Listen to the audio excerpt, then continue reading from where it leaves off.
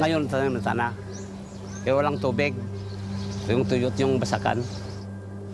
Eh, Maghintay na lang kung ano ang makuan sa ano sa Panginoon kung ano ang eh, kwan niya. Ang damage karon mas malapad gid siya kaysa nagligad nga mga tinuig. Mas lawig karon ang init. Walang tubig, walang makakain ng tao tungod sa epekto ng init. Maipiktuhan sa mi kanang gamay ra og ani tunga ra bak dag yang na nalimpyo tungod sa kuan nasunog sa El Nino.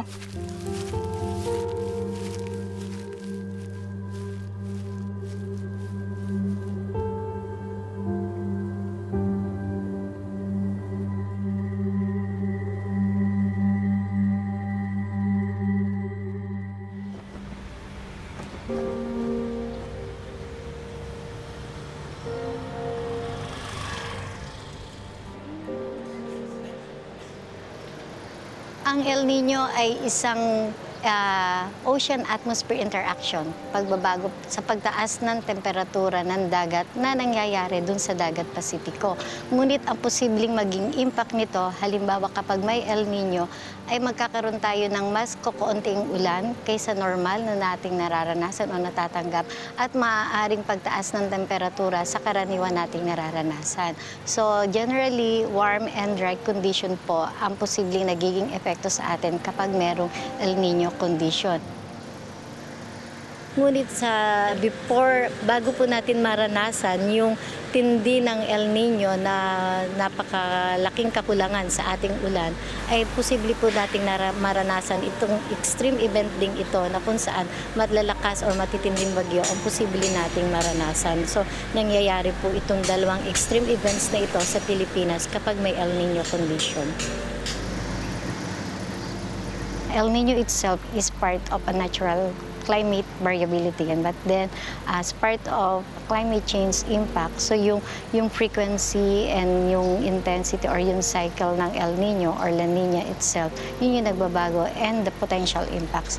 So yun yung nagiging extremes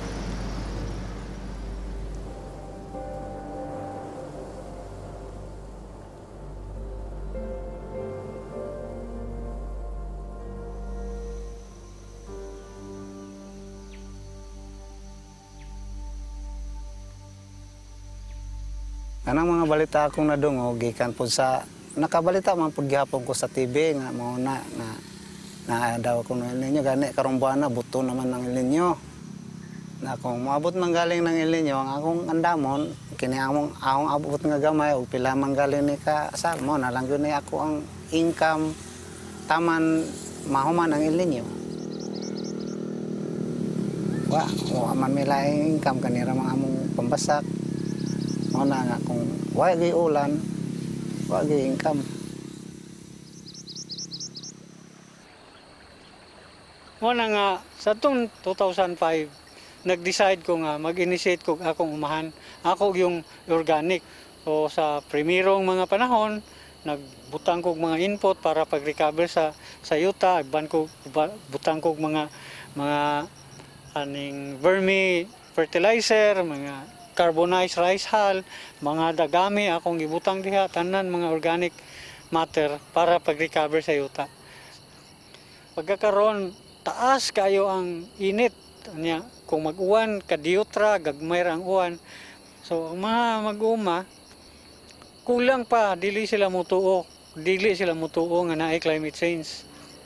Ang ilang pagtuo nga normal ra kining mahitabo balik ra gihapon ang ang klima bisan unsa ni magsulti nga mao na ni ang nahitabo di gyud sila mo pero dili nila makita dili nila makonekta ang panghitabo sa ilang umahan dito sa ah, kinatibuk ang panghitabo sa sa atong katilingban.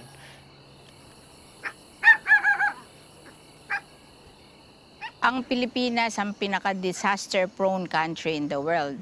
And uh, because of climate change, we expect more disasters coming in in the Philippines. That's why we're very conscious about yung ating environment. Kasi pag nagkaroon ng disaster, nadi-destroy ang agriculture, nawawalan tayo ng food production and na-endanger ng ating food security.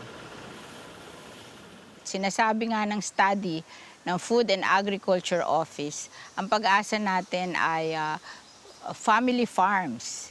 Yung ating mga farmers na ipagpatuloy nila ang pagtatanim sa kanilang mga farm, maliliit na farms, at gawin, gamitin nila yung agroecology. Yung ah, pinoproduce nila ang kanilang inputs from the farm itself, like ah, ah, yung organic farming, like ang kanilang ah, ang kanilang fertilizer which is an input sila gumagawa out of their waste. So yung importansya ng ecological agriculture kasi nasa sentro ng ecological farming yung diversity na mas nakakabigay ng resilience dun sa ano dun sa farmers saka dun sa farming system.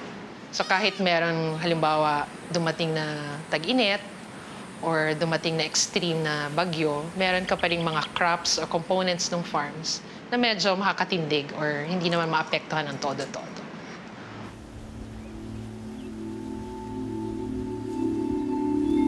Ang pinakadako nga problema usagyod ang kinahanglan nato nga tubig.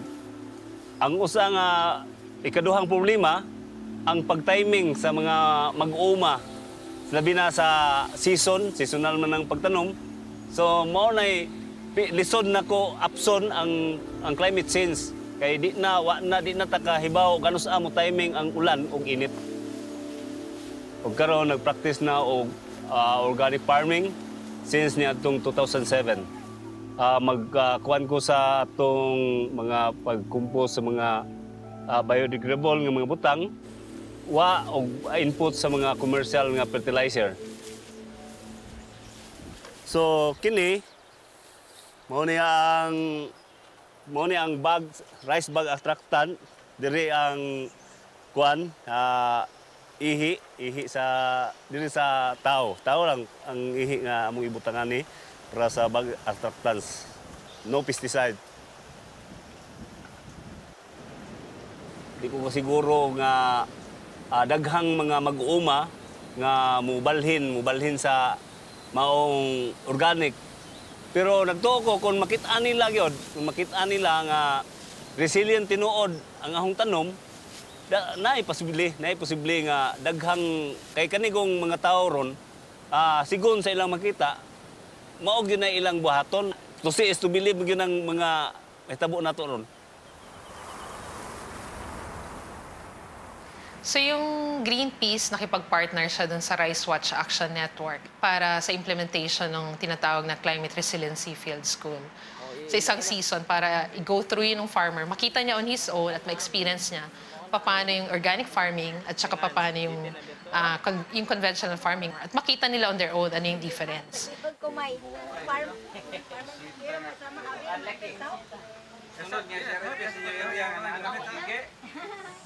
ni anak kami sa harvest time. Hapit na sila mo graduate, mo graduate na sila karon ah, bulana. Karon nga week is nagsukod mi sa og among gitimbang among abot.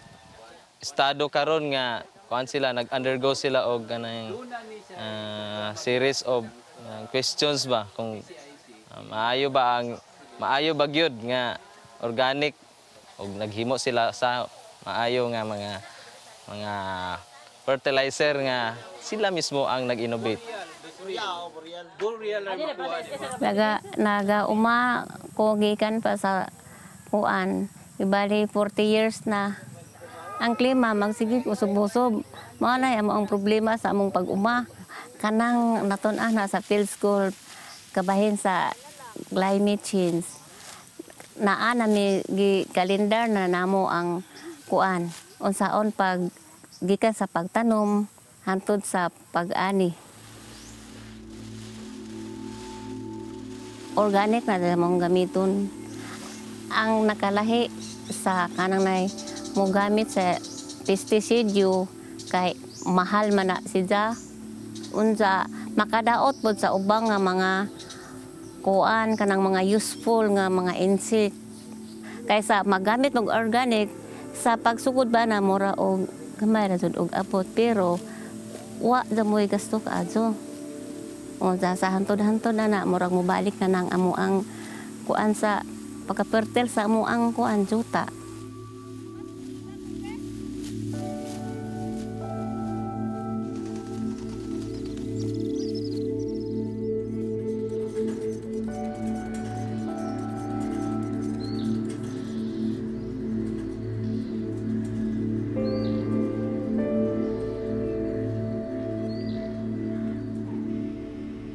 So nag-gather muna kami ng data, yung kagaya ng ah, wind direction, temperature, then lahat ng data na yon, ah, pinagsama-sama namin yun para makagawa ng isang iisang data na magiging guide namin sa pagbigay ng advisory. So, yung advisory na yon is nire-relay sa mga recipient through SMS. Nakakatanggap po ako ah, four times o kaya five times a week. Ah, depende po sa panahon. Kunwari may bagyo po, ito po ay mas madalas silang nagbibigay ng update o kaya news advisory. Malaki po ang naitutulong kasi sa TV po, wala po kong nakukuha ganong mga balita o kaya update. Yung data na binibigay namin sa mga farmer is yung ah, local data plus local ah, version, local dialect para lang talaga rito. Pag planting season naman is walang tubig, na-advise namin kahit na alam na ng farmer yon magpatubig dahil wala pa tayong inaasahang ulan. Pero pag yung mga extreme, ah, iba naman na yung ibang termino yung parang emergency SMS, parang ganun, pag extreme.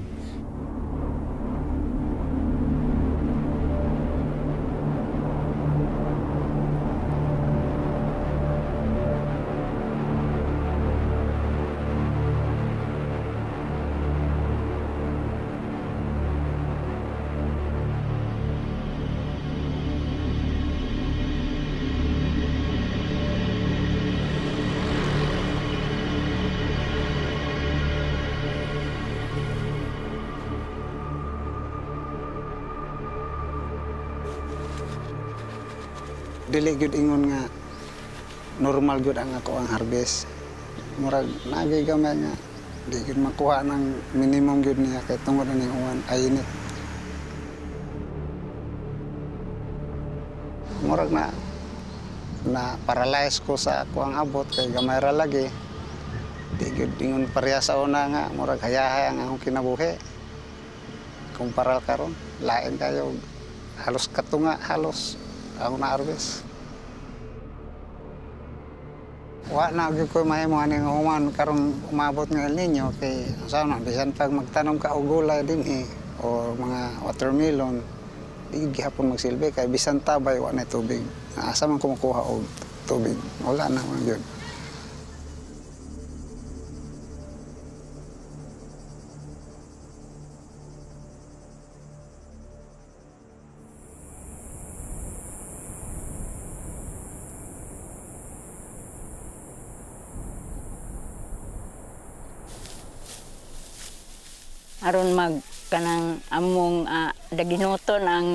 Nasunog sa kanang init. Ana ay parang maka kaon makalugaw pud mi. Nag amo na ning gitamnan mga kuana 30 na sa December. Nya pagka Pebrero eh, nagsige na mag-init. Nya mao tong na ay hingabot ang init sa kanang Marso. Hantod nga naingon ani ang iyang kuan ang iyang sitwasyon ini nga mong basak nga wa na ah, kanang nakuan na ang iyang bunga gumikan sa init. Kini niya gani pito ka sako ng among gidagha atong amua. Tunga rag bak dag kuan. Yang na kuan na mo nalimpyo. Tungod sa kuan lagi nasunog sa El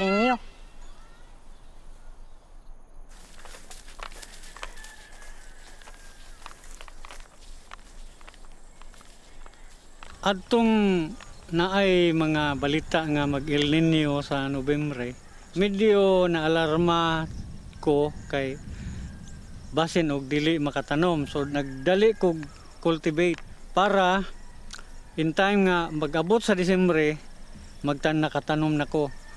Mao nga ang uban mo pagsugod nila og cultivate ang ako natam na na. So taas na para sa akin, itong organic farming, may bintaha ako.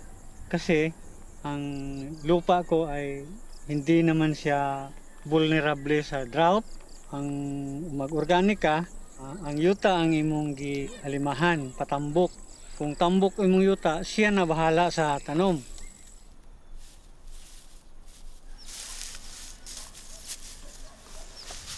Yan ay munggo, mungbin na gisabuag na to pagkahuman sa harvest. Ah, gibutang na to sa field. Nagibutangan na to sa dagami kani kani para ma-maintain ang iyang moisture ah, sa iyang field aron mo mo turok mo germinate ang mungbin unya inig ka patay sa iyang tanom mubalik siya sa yuta musagol sa dagami daghan ang iyang nitrogen mao na nga um, mao akong abono wala na lain. Karon na harvest na ang munggo tagas na pod. Mao na ang purpose niya.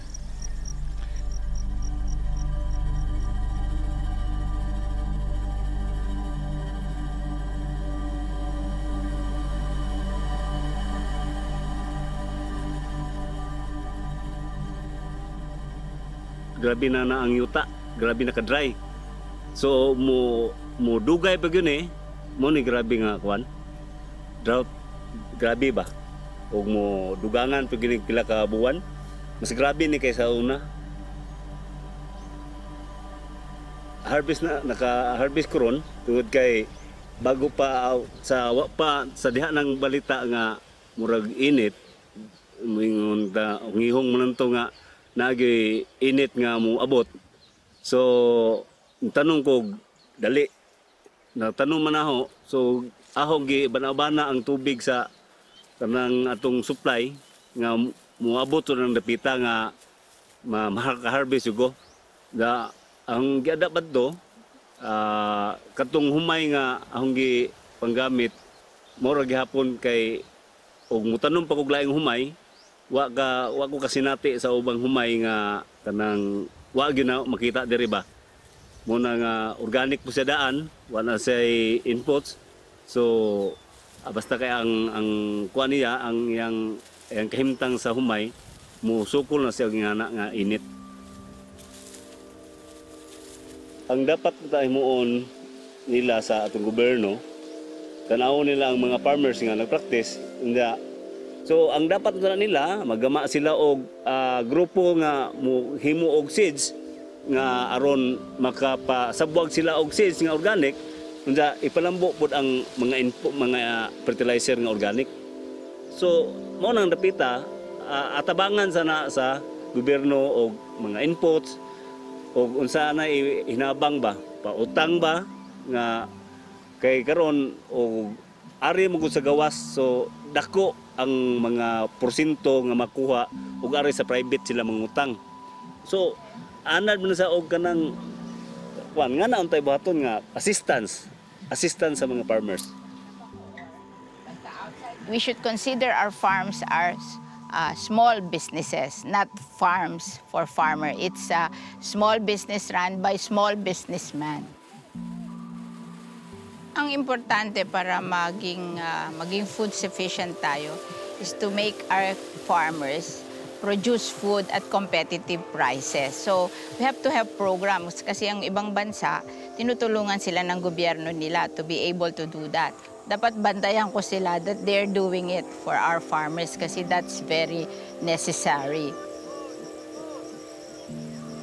Yung agriculture system natin, yung, yung leaning niya talaga for high-value crops, for export, tsaka for rice production, tsaka for irrigation. Ito yung sinusuportahan natin. Samantalang yung problema natin, malnutrition, ang kailangan niya, diverse diet. So dapat bigyan mo ng capacity yung bawat community to feed itself. So kailangan talagang baguhin yung buong ah, pagtingin sa agriculture, sa food at saka sa nutrition. At yun yung challenge ng Greenpeace dun sa susunod na presidente ng Pilipinas.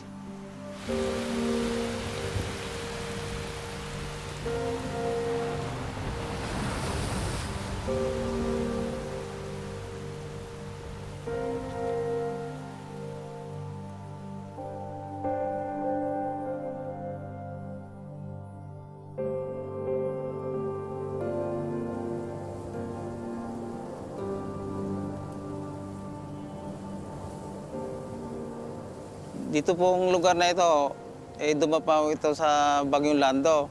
Ay, yung itsura ho na ito noon, nung dumapa ito. At yung mga pananim naman dito na nauna na mga pakwano, ayun, nasira din ho ng bagyo. Kaya yan, mga iba ho dyan, nagugulit na lang na magtanim. Eh, baka hindi ko na tamnan ngayon pala ito. Dahil hindi nalugi nga ako, hindi pa ako nakabayad ng utang. Tapos yung iba naman, may nagtitira naman konti sa akin na pinapakuno ko para may pagkain naman ho kami. Para sa susunod na pagtatanim na ah, meron pa kaming pagkain.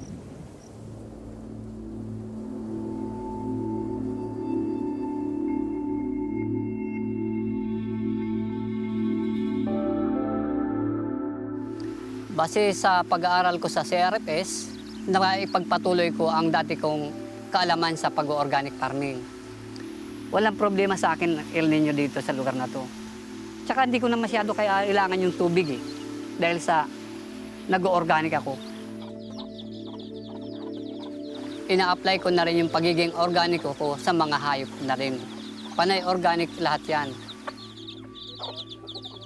Nagkausap nga kami ni ano ni ng R1 nung last October 22 na kung willing daw ako na magbenta ng binhi sa kanila para sa gagawin nila ring pang ano, pamimigay nila sa north ah, part ng Luzon, ah, north part of Luzon para makatulong din sa nasalanta ng bagyo. Ako, umukay na rin ako. At saka makakatulong din ako sa kapwa ko magsasaka.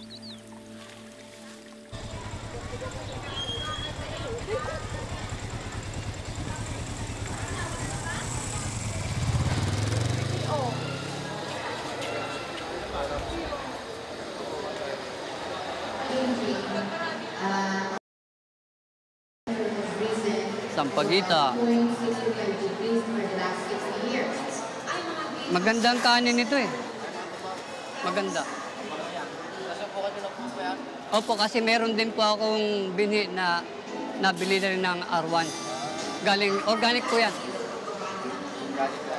Sa gulay, pwede to.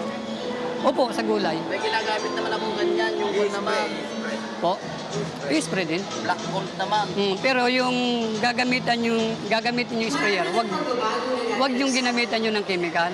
Kasi sayang din yung pagiging organiko nyo kapag ginamitan nyo ng chemical yung ano, sprayer nyo. Eh. Hindi pa rin kasi matagal yung ginamit yung ano eh, yung sprayer na may ano, chemical eh. Nandun din yun. Kami, yung dati kong sprayer, di ko na ginagamit. Bagong sprayer ang ginamit ko na. Para totally organic talaga ako. Organic producer. Nilalaman nung green na bag na yun ay palay na binhi at mga binhing gulay na at saka yung mga concoction na ipamimigay dito sa mga kapwa ko magsasaka sang gimba. Ang nangyari sa araw na to, napakaganda. Na, na, ang expected nga natin dati, mayroon bang tatanggap o wala. Pero sa tingin ko, napakaraming tumanggap ang pag-share ko sa pag-organic ko sa palayan.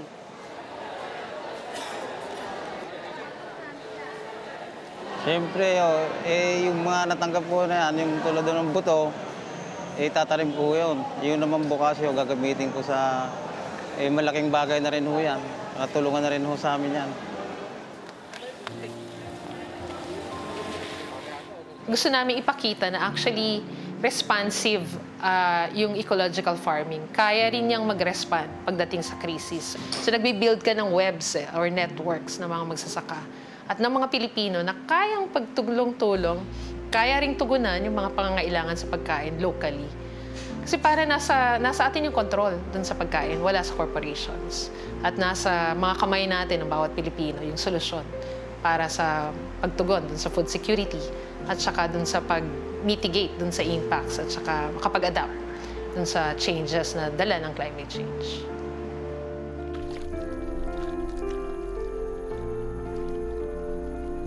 Kaya yung mga anak ko nga, sabi ko sa kanila, magtulong-tulong tayo. Ayaw kong mangyari ang ano na itong naumpisahan ko, eh puputulin lang nyo kung wala na ako at magke-chemical kayo. Sayang naman, di ba? Mga nakakakita sa amin na ano, minsan nagtatawa, pero nung makita na maganda na ang, si, ang bulas ng mga tinanim, hindi na sila umiimik. To see is to believe.